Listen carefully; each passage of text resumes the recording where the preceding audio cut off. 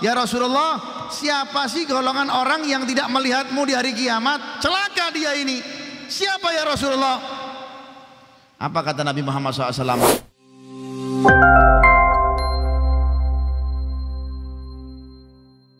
Rasulullah Sallallahu Alaihi Wasallam itu sampai menggambarkan ada sebagian umatnya yang tidak melihat beliau di hari kiamat. Naudzubillah min dalik.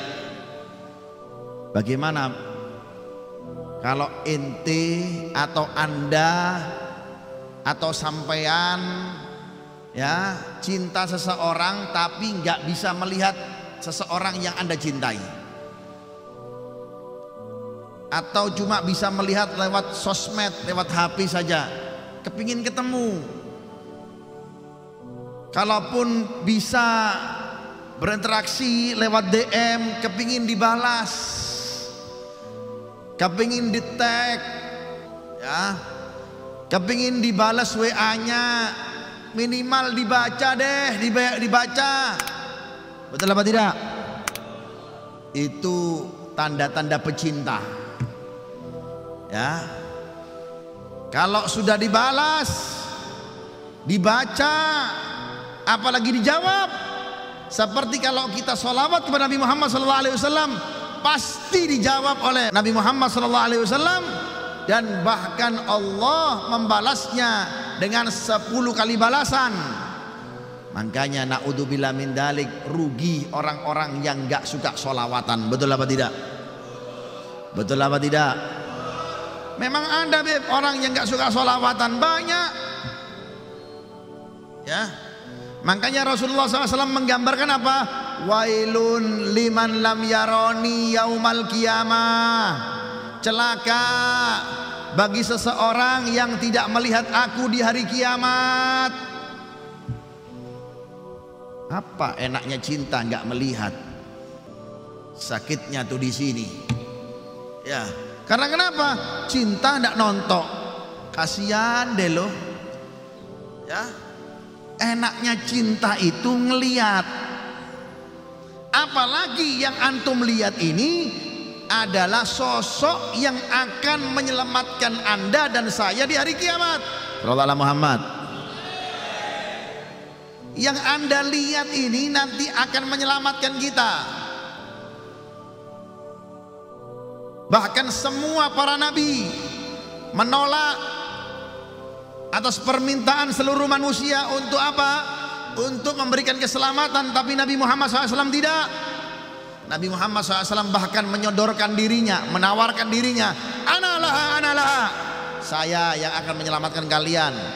Kulo, ya, sing nyelamat no sampai niki kulo katakan jeng Nabi. Ojo khawatir. Terus ndak nontok Kira-kira enak apa mboten?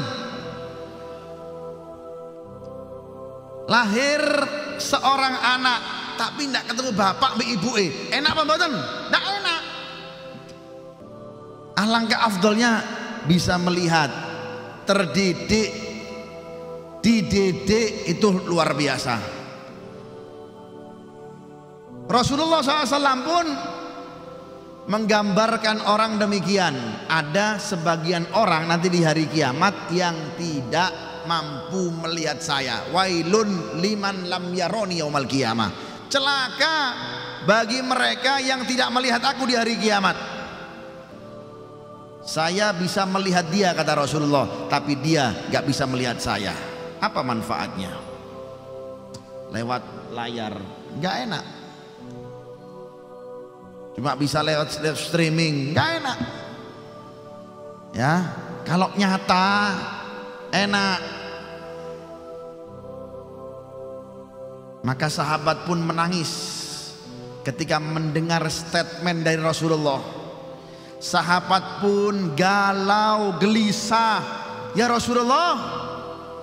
Bahkan Sayyidina Aisyah pun menanya bertanya kepada Rasulullah ya Rasulullah siapa sih golongan orang yang tidak melihatmu di hari kiamat? Celaka dia ini. Siapa ya Rasulullah? Apa kata Nabi Muhammad SAW al bakhilu liman lam dukirtu indahu falam yusalli alayya Rasulullah Muhammad orang yang kikir, orang yang medit, orang yang bakhil. Siapa sih orang yang medit itu? Siapa sih orang yang kikir itu? Siapa sih orang yang medit itu dan bakhil dan kikir itu siapa? Kalau disebutkan namaku di depannya dia tidak bersolawat kepadaku. Rasulullah Muhammad.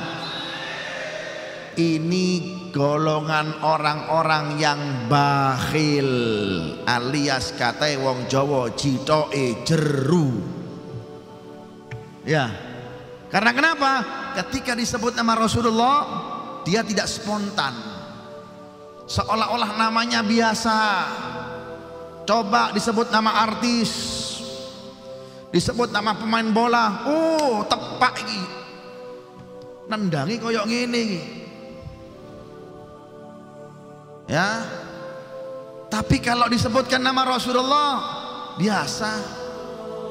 Ya. Hatinya tidak gemetar.